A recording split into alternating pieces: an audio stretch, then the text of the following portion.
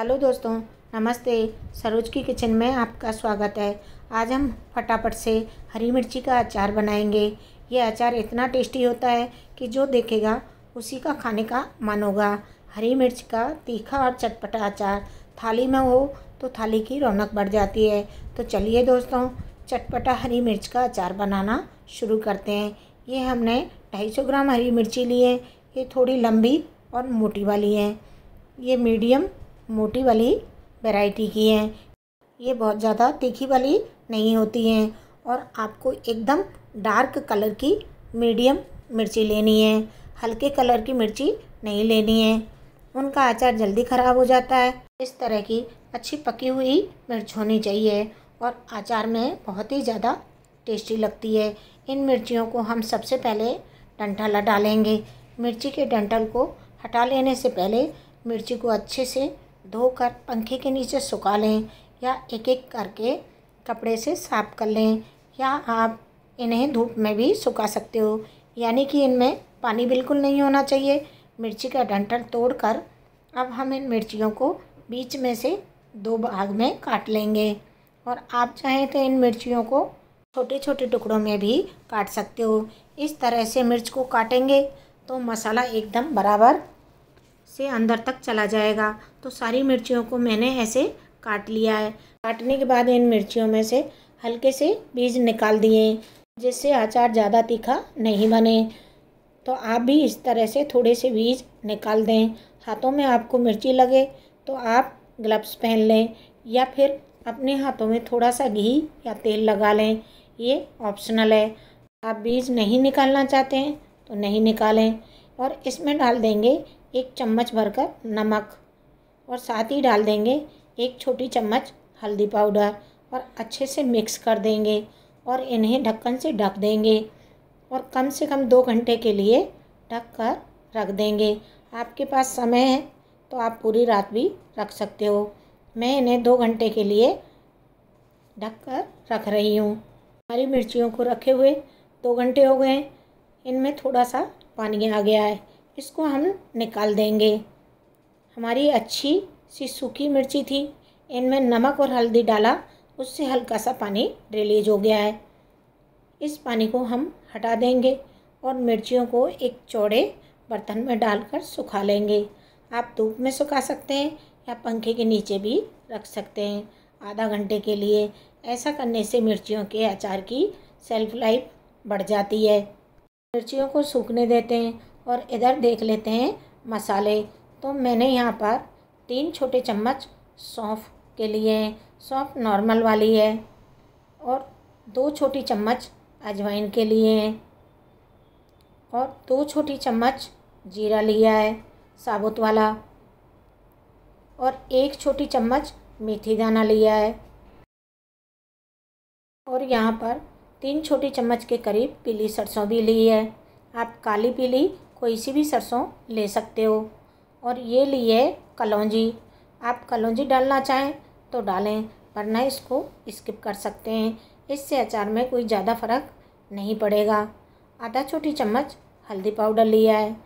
ये हमने ली है कश्मीरी लाल मिर्च, दो चम्मच, अच्छे से कलर के लिए। साथ में लिया है काला नमक, क्योंकि सादा नमक हम पहले डाल चुके हैं। अगर काला नमक नहीं है तो आप सादा नमक भी डाल लीजिएगा। आप लाल मिर्च नहीं डालना चाहते हैं तो आप स्किप भी कर सकते हो। अब हम मसालों को हल्का सा ड्राई रोस्ट कर लेंगे। मसालों को मीडियम टू लो फ्लेम पर हल्का सा रोस्ट करना है। यहाँ पर हमने एक पैन ले लिया है। पैन में हम डाल देंगे सबसे पहले सौंफ और डाल देंगे अजवाइन और साथ ही डालेंगे जीरा और मेथी दाना। इनको हल्का सा रोस्ट करेंगे। इनको बहुत ज़्यादा नहीं भुनना है। इस तरह से हाथ लगाएँ तो हल्के से गर्म हो। इतना ही भूनना है। अब हम इसमें डाल देंगे कलौजी इसे मगरेला भी कहा जाता है। इसे बहुत ही हल्का सा रोस्ट करना है और अब हम कर देंगे गैस का फ्लेम बंद और अब इसमें डाल देंगे पीली सरसों और इसको अच्छे से मिक्स कर लेंगे। अब ये इन मसालों के साथ अपने आप ही भुन जाएगी। आप देख रहे हैं हमारे मसाले अच्छे से भुन गए हैं। इनमें से अच्छी सी खुशबू भी आ रही है। अब हम इन मसालों को एक प्लेट में निकाल लेंगे, जिससे हमारे मसाले जल्दी से ठंडे हो जाएँगे। जब तक हमारे मसाले ठंडे होते हैं, तब तक हम तेल गरम कर लेते हैं। तो यहाँ पर इसी पैन में हम सरसों का तेल डालेंगे, एक कप के करीब। दोस्तों, आप सरसों का तेल लेंगे तो अचार बहुत ज़्यादा अच्छा बनेगा। तो हमें चाहिए हींग। और आपका अचार सालों साल चले, इसके लिए चाहिए हमें फिटकरी तो ये कैसे डालनी है, कितनी डालनी है और कब डालनी है, ये मैं आपको बताऊँगी। तो पहले यहाँ पर गरम कर लेते हैं तेल। तो तेल इतना गरम करना है कि इसमें हल्की सी धुआँ ना आने लग जाए। बहुत ज़्यादा धुआँ नहीं आनी चाहिए और ज़्यादा खोलता हुआ तेल गरम नहीं करना है। ज़्यादा खोलता हुआ तेल गरम करते हैं तो तेल का टेस्ट ख़त्म हो जाता है। हमने गैस का फ्लेम बंद कर दिया है। तेल हमारा ठंडा होता है, तब तक हम हमारे मसालों को चेक कर लेंगे। इधर हमारे मसाले भी ठंडे हो गए, अब उनको हम ग्राइंड कर लेंगे। हमने यहाँ पर एक मिक्सर जार ले लिया है, इसमें सभी मसालों को डाल देंगे और इनका बारीक पाउडर नहीं बनाएँगे दर दरा सा इनको पीस लेंगे। आप देखिए, हमने मसालों को पीस लिया है। मैं आपको नज़दीक से दिखा देती हूँ कि पाउडर नहीं बनाना है। हल्का सा दरदरा ही मैंने रखा है। दरदरा रखेंगे तो ही अच्छा टेस्ट आएगा। यहाँ पर हमने चुटकी भरी हींग ले ली है और थोड़ी सी फिटकरी ले ली है। अब हम इसे कैसे डालेंगे, ये मैं आपको बताती हूँ। तो हम साइड में रख देंगे। इधर हमारा ऑयल भी ठंडा हो गया है। अब इसमें डाल देंगे हींग और इसे अच्छे से मिक्स कर देंगे। तेल हमारा अच्छे से ठंडा हो गया है। तेल जब अच्छे से ठंडा हो जाए, तब इसमें डालिए फिटकरी। तो दोस्तों, फिटकरी कितनी डालनी है? बहुत ज़्यादा ज़रूरी है। प्लीज़ ध्यान से देखिएगा। अब मैं फिटकरी को चुटकी से उठा रही हूँ और इसमें डाल दी, क्योंकि मेरी चुटकी छोटी है। अगर आपकी चुटकी भी छोटी हो इस तरह से तो आप आधी चुटकी और डाल दें। अगर बड़ी चुटकी है तो प्लीज़ एक ही चुटकी डालिएगा। ज़्यादा फिटकरी नहीं डालनी है और अब अच्छी तरह से मिक्स कर देंगे। तेल में फिटकरी डाली है तो ये दवाई का काम करेगी, क्योंकि सारे तेल में अंदर इसका असर हो गया है। दोस्तों, आपसे रिक्वेस्ट है कि वीडियो पसंद आए तो लाइक शेयर ज़रूर कीजिएगा। अब देखिए, मिर्ची हमारी सूख गई हैं। मिर्ची का मॉइस्चर ख़त्म हो गया है। अब इन मिर्चियों को हम थाली से बाउल में डाल लेंगे। हमने मिर्चियों को बाउल में डाल लिया है। अब मिर्चियों में डाल देंगे ठंडा तेल। जो तेल बनाया है, हींग और फिटकरी का, उसे ठंडा होने पर डालिएगा, नहीं तो गड़बड़ हो जाएगी। उसमें मॉइस्चर आ जाएगा और मिर्चियाँ भी मॉइस्चर पकड़ लेंगी और फिर मिर्च ख़राब हो सकती हैं। तो आप पूरी ट्रिक और टिप्स को फॉलो कीजिएगा। दोस्तों, पूरा एक्सपेरिमेंट करने के बाद मैं आपके साथ कोई वीडियो शेयर करती हूँ। तो वीडियो पसंद आए तो लाइक, शेयर ज़रूर कीजिएगा और कमेंट्स करके भी बताइएगा। अब एकदम अच्छे से मिक्स करना है। तेल के अंदर मिर्चियाँ अच्छे से मिक्स हो जाएँ, तब हम इसमें डाल देंगे ग्राइंड किए हुए मसाले और इनको भी अच्छे से मिक्स कर लीजिए। सब अच्छे तरह से मिक्स करने के बाद इसमें डाल देंगे काला नमक। अगर आपके पास काला नमक नहीं है तो आप सादा नमक भी डाल लें, लेकिन काले नमक का टेस्ट अच्छा आएगा। अब डाल देंगे थोड़ा सा हल्दी पाउडर। ये ऑप्शनल है, क्योंकि हम हल्दी पहले भी डाल चुके हैं।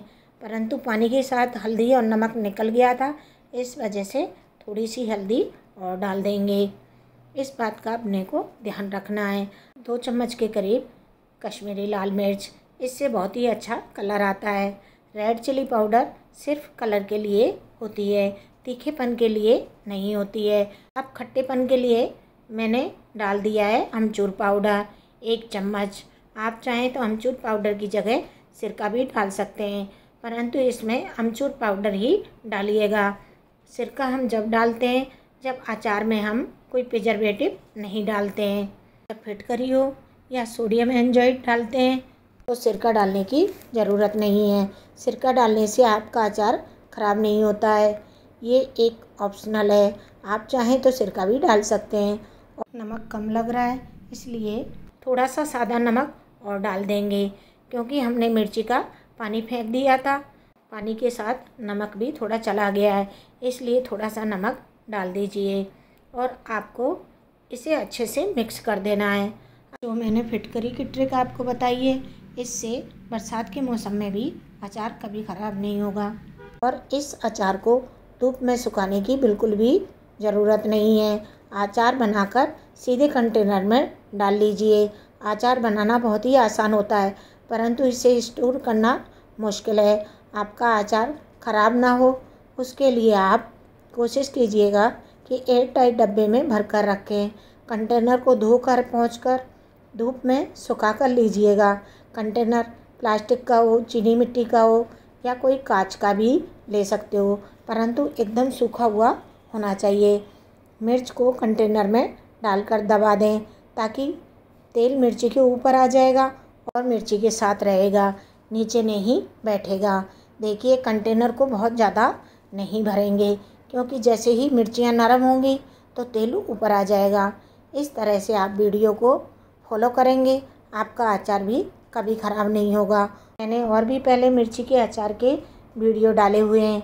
आप सब लोगों ने पसंद किए हैं। आपके लिए धन्यवाद। उन वीडियो की लिंक नीचे डाल दूँगी।